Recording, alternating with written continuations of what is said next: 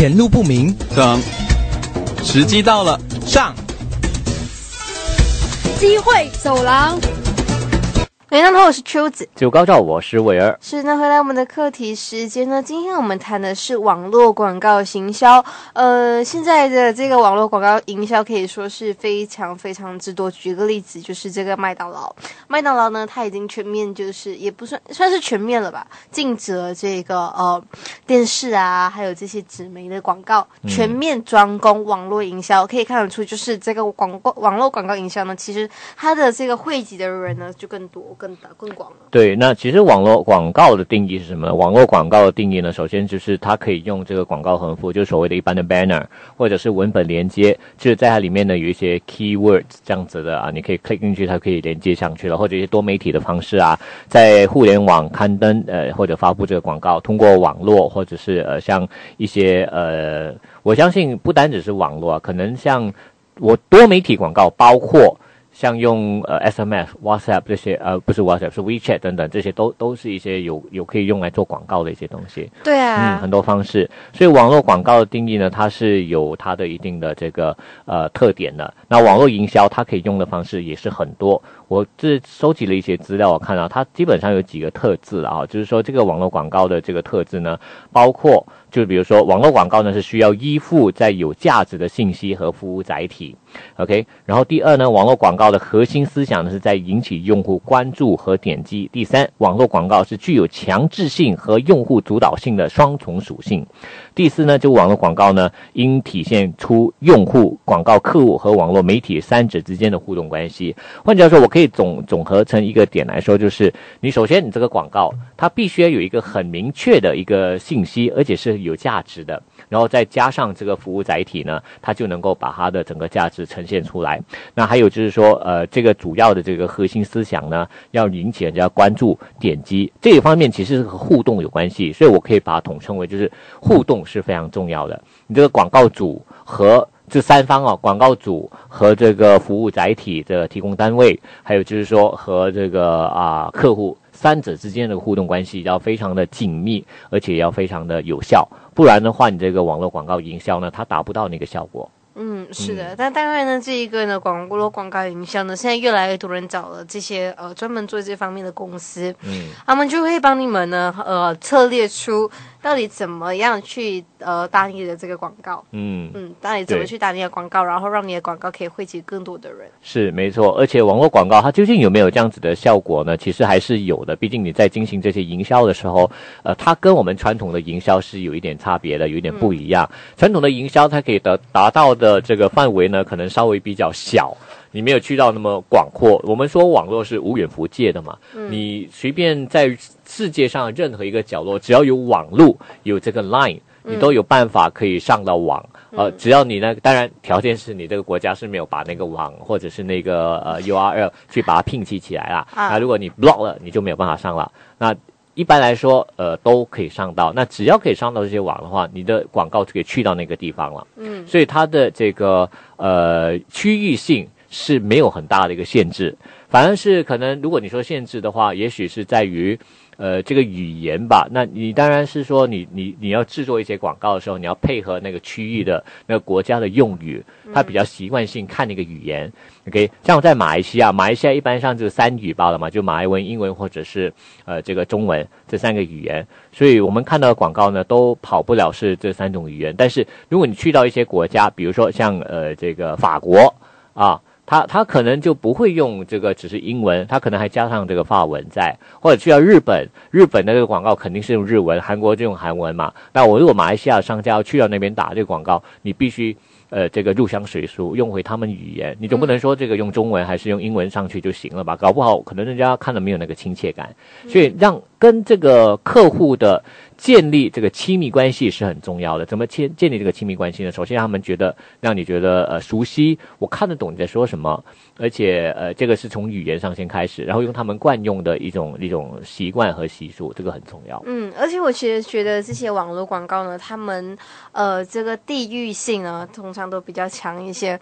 其实虽然是同一个广告，但是呃同一个公司出来的广告，但是对于不同的国家呢，他们有不一样的一个呃。方式，像是泰国的话呢，可能他们又有跟随这个泰国入乡随俗，像是打招呼是用泰国的方式打招呼嘛是，跟我们的这个打招呼通常都不太一样。马来打个招呼，马来西亚人打个招呼可能是举一个巴掌然后这样子，但是泰国人打个打一个招呼呢，好像就是会双手合十嘛。是那这个也是相对的比较不一样，但我觉得这个就是网络广告它的它它的一个呃非常大的一个特点之一。而且现在呢，其实你可以注意到，这个网络广告呢，主要呃并他的这个时间呢，其实不在乎长短了。嗯，它可以一个五分钟，然后打一个人寿保险。你，哦对呀、你有注意过吧？尤其是是泰国广告，它通常都是五六分钟打一个人寿保险。是但是你就是会耐着性子看这个短片，为什么？因为它触动到你心。是嗯，它它不是用那个，就是那时间的长短呢，已经不是一个最大的考量。它可它必须是一个考量，但是不是一个最大考量。今天它是一个形式，反正是一个形式，这个形式呢是变成人家会去考量的部分。我觉得哦，我的这个产品。我要有一些故事要说，所以我采取这种形式的话，那等于是说它更有效的可以达到那个效果，那我就用这种形式了。我比如说我用我用短片的形式，或者我用的是游戏的形式。你些广告它是游戏来的，它是一种互动性的游戏，嗯所以它分很多种。最重要是看你用什么形式来呈现。那你用选择那个形式过后呢，你才选决定说啊，你用多长时间来呈现这个东西，这是一个点哦。那我们呃我们的嘉宾呢也是。来到了现场了，我们今天呢就有了今天的我们呃今其实今天有好好几位嘉宾的哈，那我们先来介绍我们今天第一位嘉宾就是 Dr. Zero，OK，、王丰毅博士，王博士早上好，嘿，早上好，你好。是 Zero，好好久不见了哈，对，好久不见了。是你今天也剪了这个新发型了，是为了配合你这个广告营销吗？啊，差不多吧。有时候换一下不同的发型 会好一点吧。是是是。那我们今天谈这个网络广告营销，其实呃，你据说你现在也是开始正在呃经营着这个网络广告的这个业务是吧？啊，对对对，就是在这个星期四，我们就会啊、做一个啊、隆重的 launching 吧。嗯，是可以跟我们稍微介绍一下你们这个网络广告的业务吗？哦，我们的公司主要呢就是帮人家做一些 website 啊，做一些 digital marketing 类似有关的东西，比如说 Facebook 啊、嗯 Instagram 啊，因为现在的呃的 trend 都是 move forward to digital marketing 了嘛，嗯所以在 digital marketing 无论给什么公公司也好，什么行业都很重要的，嗯，就所谓的 O to O。以前比较传统的全部都是做 offline 的 business 嘛，是所以现在就把成呃 online 也是很重要的一个部分来的。OK，你们有没有曾经做过一些 research？就是在马来西亚，呃，其实有多少人以多少的这个公司百分比来以百分比来计算，嗯已经把这个呃广告营销的部分从 offline 移到 online 这一块。对，我们有做过这样子的啊、呃统测啊啊、以上一年的统测已经有六十多八千的人已经开始转从 offline 变成 on online 的呃是在。是在马来西亚吗？还是啊，对，在马来西亚，对，哦，不是集中在吉隆坡这一带巴生河流域吗？哦，没有是整个马来西亚对整个。马来西亚，所以那个 trend 已经哦开始了，已经其实好几年已经开始了吧，现在是越来越啊、越来越厉害吧。他们是完全脱离 offline 的意思，还是说、啊，都有一部分是会完全脱离 offline，都有一部分还会保留。那因为有一些营销啊、一些生意一定要有 online 和 offline 的，不可以哦完完全全没有 offline 的。哦嗯，这样如果是两个都有的话，比如说他有 online 和 offline，、嗯它的比例会怎么分配？它的那个 a d A A N P budget 它会怎么分配？以前的 AMP budget 呢，很多都会做在 offline 的方面的，那现在呢，已经可以 move 到去差不多六十八线，很多人都是打在 online 了。啊有一些公司甚至乎可以去到七八十八线，全部是在 online 的。嗯嗯，因为打个比方说，我有几个呃顾客的，我们现在开始做出的，他们的生意量呃可以可以讲是九十八线都是来自于 online 的。九十八来的对对，他们打，打都是 Facebook 的广告。他们做是做网络生意吗？还是哦，不是哦，他们是做 offline，他们是做比如说吃的啦，哦，就饮食行业啦对对对，F&B 行业啦，这样子 fashion 啊，所以某某一些东西你还需要到 offline 呢，就好像你买买一些衣服还是买什么，你不可以嗯来。呃，一 order 就 order，当然有些是中国淘宝啊，那些就不一样。但很多时候，很多人他还是要有那种啊、货品或者是饰品的那种 feel 啊。嗯我们讲的 sense 啊，你想要摸下，你想要看一下，你想要感受一下，对对对对。所以在 online 的时候就带不出这个感觉出来。那但是 online 也不可以不可以看少啊，因为现在虽然一些东西在呃呃 offline 和 online 做不到的东西，吧 online 可以做到，所以 online 是一个二十四小时的啊、呃生意来的。那那 OK，你能举一些例子吗？比如说 offline 做不到，online 能做到的，你刚才已经提到一个，就是 online 它可以二十四小时的对在对对在就帮你打广告。嗯那除了这个之外呢，它跟 offline 的区别还有什么样不一样？就是 online 做到，offline 一定做不到的东西。哦，online 做到的东西呢，就是它可以拿到一个很大的数据，就是每一次有人啊 log in 到你的 website 啊，或者在你的呃呃所谓的呃网购啊还是什么的话，那这些 data 我们也是可以收集到的。但是嗯 offline 的话呢，很多时候顾客也没有这个选择性想要去啊啊、留下他们自己的 contact，所以那个数据也是很重要，这个是其中一点啦。第二点，你可以讲，刚刚我跟你说了，很多人是需要到啊。啊，快速了嘛，这样有时候你不用等到，因为有一些人好像我们做工时间啊，七八点放工，九点放工，那很多店商店已经关了，那怎么办？所以我们就通过 online 的 system 可以看到二十四小时了。嗯，对如果是这样子的话，它是不是也是包括像 logistic，就是物流这一方面？比如说你你刚才提到像呃，可以可能下班后或者店关了，我就买不到那个东西了我虽然说我 online 我能买到，但我也不是马上拿到啊，可能我要隔一天才能拿到。这样跟我隔一天去买有什么区别呢？啊，这区别就是你省了很多时间哦，因为你可以省很多时间，不用去啊、queue up 啊，不用去排队啊，也不用带 cash 去买啊，也不用这样到处选，因为有时候我们选东西也要很多时间的嘛。所以在 online 买的话，其实它有多一个啊好处，就是无论你在哪里。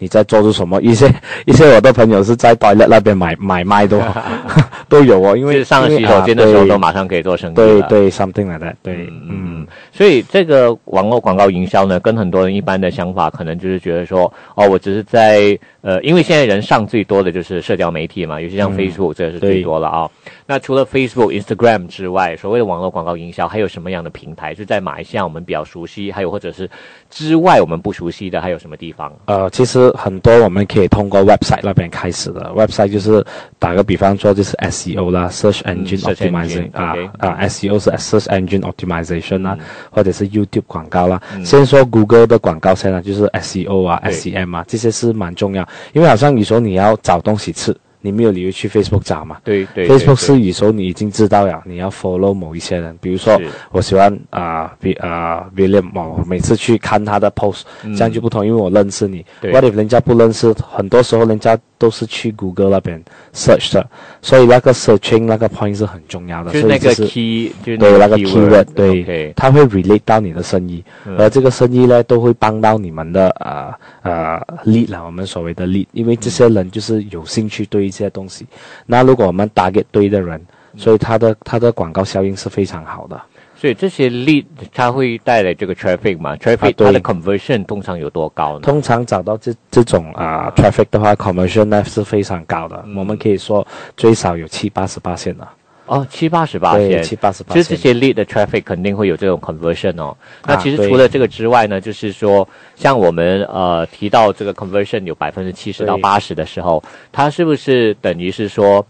这个是限制在某一些的业务才有这种可能性，还是说一般只要在做网络上的业务呢，都会有这种 conversion 呢？对，一定会有 conversion。conversion 不一定是要在 sales 的，嗯。不一定要用金钱去判断 conversion rate 的。conversion rate 可以啊、好像一些人买 property，对。你在 online 那边，你没有理由让人家，比如说一个 property 五百千，你没有留人家给你 五百千的马嘛就买，但是啊。人家有兴趣，他的 conversion 的意思就是他会留下他的名字 data，、嗯。或者是他会留下他的 email，那个就是一个很很成功的 conversion rate 了。哦，所以在 conversion 这个概念，其实不单只是、呃 sales close 这个叫 conversion，而是说只要我有 data，那个已经算是一个 conversion 要成功的 conversion。我们应该是要这样讲，我们的 conversion rate 呢是 depends on individual 或者 client 的 objective。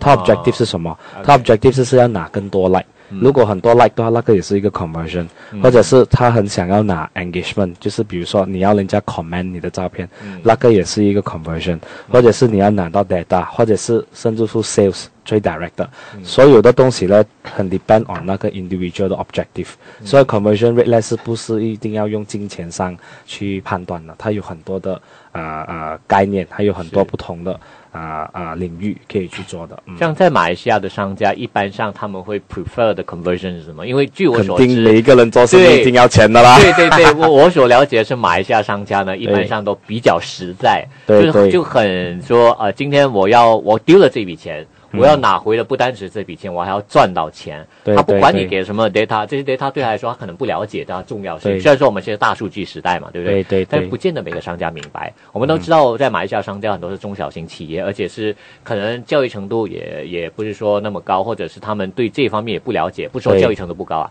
对对这方面不了解。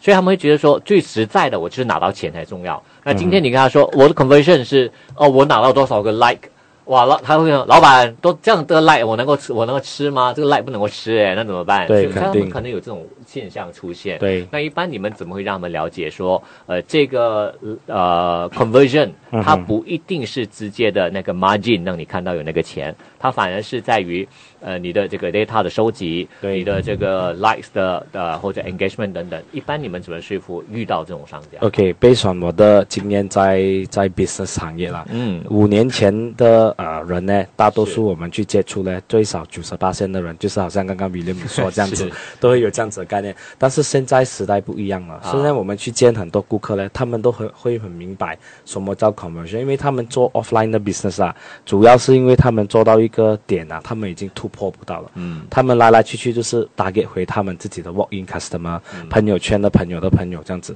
他已经突破不到，所以很多人要做 sales 啊，都会 understand 什么叫 lead 的，他们都会是想要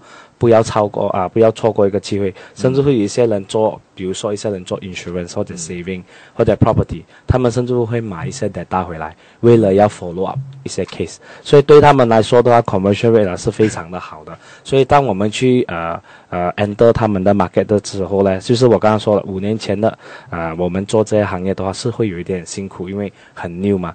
五年后现在的科技发达，还有很多东西都已经很 stable 了，所以我们就比较少会遇到这样子的问题，反而会遇到的东西就是他们想要的东西是更多了，就是 OK，你可不可以用啊、最低的成本帮我拿多点利？嗯那他们已经不会再在于诶那个利不重要哎，我现在我要看 ROI，、就 return on investment。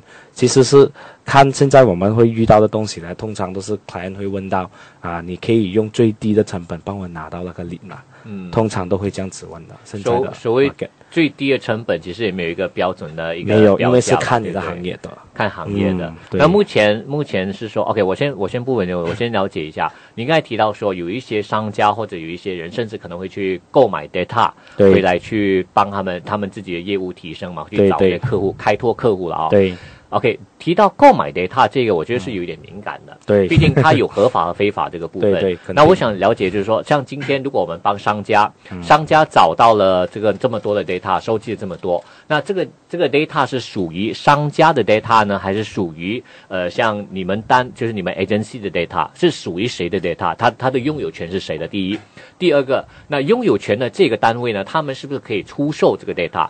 他们是不是有有权利可以出售，或者没有触犯任何的法律下把这个 data share 出去？别说出售、啊，那我们的 policy 在我们公司，我们是不会去 share 这些 data，因为这些是很敏感啊。第一第二也是 against 一个啊、privacy 的 law 啦，所以我们一般上也没有去做这一块的。那我刚刚给你的一个 example 是，因为我知道通过 third party 的时候，你可以买。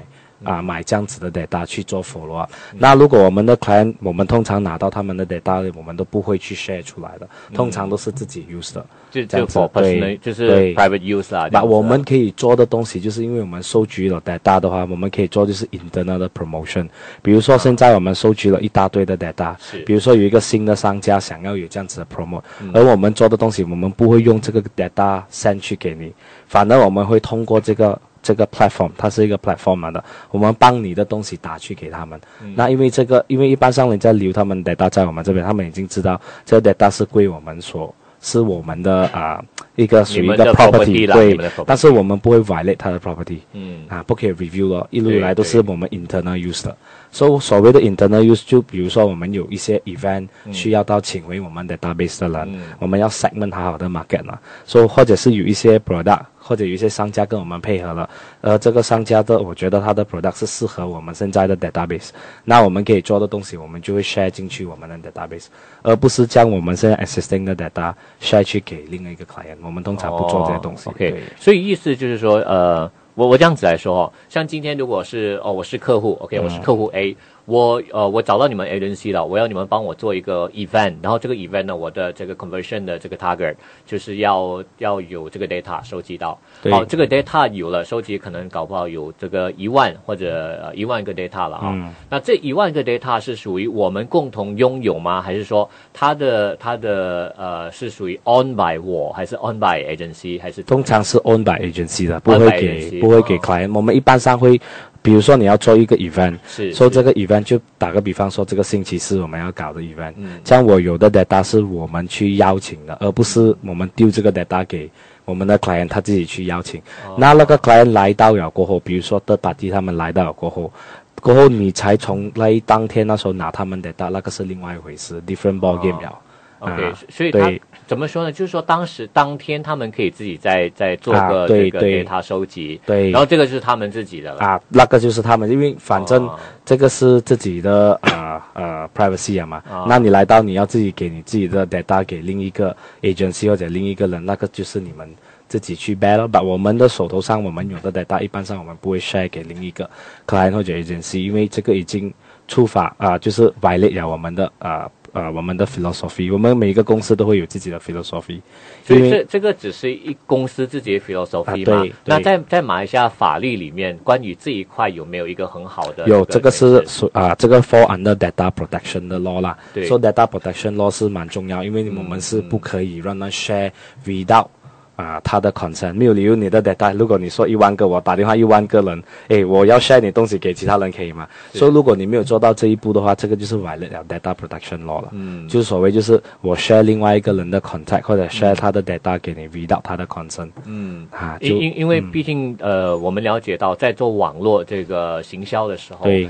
其实 data 才是最重要的对这个对 property。对所以我们为什么说大数据时代嘛？因为数据才是真正的这个游戏的它的这个财产啊，资产就在那边。对那谁掌控这个最大的数据呢？严格上来说，他已经掌控了一个很大的财库。对他可以去可以去挖了哈、因为很多商家他需要就这一块东西。对那所以，如果当我们说到这个收集这个数据的时候，一般上它有一些什么样的这个规则啊，那些之类，比如说像今天我注册的时候，嗯会不会在那个问题上面，呃，有说，哎，你对哪一个有兴趣，这样我就听那些东西，然后我没 tick 的东西呢，就我就 expect 我会收到这些资讯，是这样子的情况吗？那如果为什么有些人可能还会收到，所有的 都收到呢？其实其实有几个呃做法了，好像我们这样子做的话呢，我们是比较 serious，还有我们会比较呃细腻在我们的嗯。client 的呃要求，意思就是说我们做每一个所谓的 contact form 呢，我们都会很小心这样去挑选的。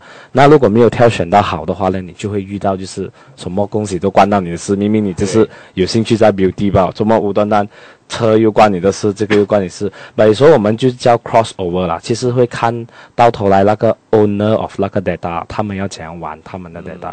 那、如果是我们做的话呢，我们会先讲 website 先啦。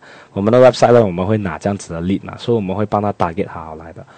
好像比如说我们呃是要卖 property 的，你没有理由去问那些没有关系的东西的。啊，所以我们在这样子的 contact，我们也我们也是呃，我们的 founders 的 background、director background 全部都是啊、engineering background 的，所以他们都会很细节在问答的问题，然后要怎样去做到一个呃好的 contact form 出来，过后你才可以收集到最好的 data。因为一个一般的人，好像你看 online。啊、w e b s i t e 还是什么东西的话，你找 data 你不会超过三分钟的。如果你一直找不到，你超过三分钟你就 big check 啊，哎不要找了，算了啦，我们找另外一个 keyword。是是是所以在那一个短短的三分钟，你不要看小，每一个人的三分钟啊，在这个三分钟可以变成一个很 massive 的东西的，很 viral 的，没错，嗯，这是一个速食时代了。那所有所有时间呢，所有的时间的长短都影响着这个生意的量有多大。那当然，我们先休息一下，待会回来呢，我们还有另外三位嘉宾呢在现场，还有包括 Zero 跟我们一起聊一聊关于今天的课题——网络广告营销。先暂停一下啊，先进一首歌曲吧。